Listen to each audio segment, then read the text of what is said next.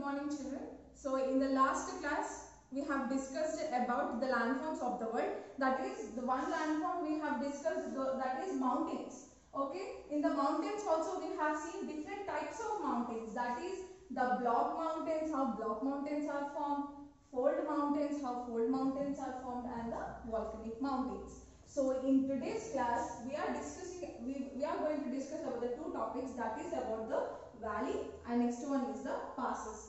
Now what is the meaning of a valley? So a valley is nothing but the lowland between the hills and mountains is called as a valley. So a lowland in between the mountains. Okay. So the lowland in between the mountains. See these gaps are called as a valley. So rivers and the see these these valleys are formed with the rivers or the glaciers.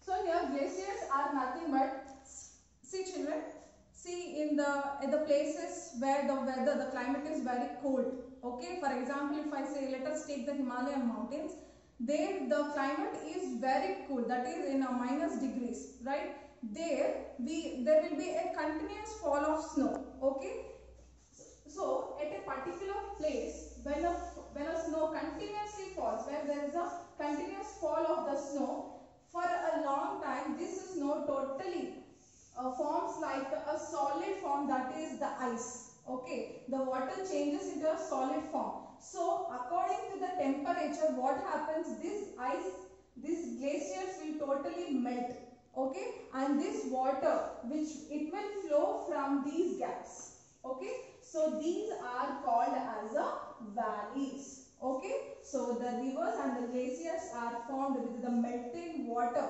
with the melted ice that comes from the middle of from these gaps from these mountain gaps. So these gaps are called as a valleys. Okay? So again i'm going to explain the definition. The lowland between the hills and the mountains is called as a valley. So our India is, is also having a, a beautiful valley near the Kashmir. So Kashmir valley is one of the uh, beautiful valleys in our country. The next is the passes. So passes are nothing but mountains have low, narrow, natural gaps called as the passes. So see children this is these are the passes is nothing but which connects from one place to the another place from the mountains. Okay. For example, we have Khyber Pass that is which connects the Pakistan and the Afghanistan. So it makes a way for the two places. Okay. So those are called as a passes. So so today we have learnt about the valleys and the passes. In the coming classes we are going to discuss about the plains and let me show you uh, some uh, valleys and passes picture. So children as we discussed about the valleys that is the lowland between the hills and the mountains right. So can you see the water the river valleys which is flowing in between the two mountains or the hills.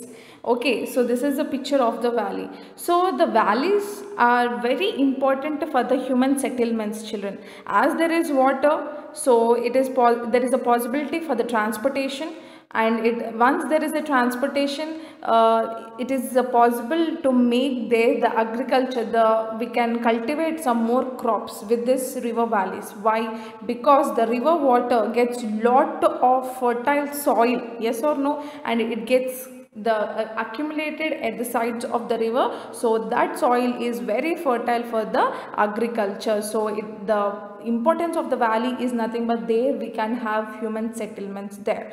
Okay so all the resources we can find near the valleys.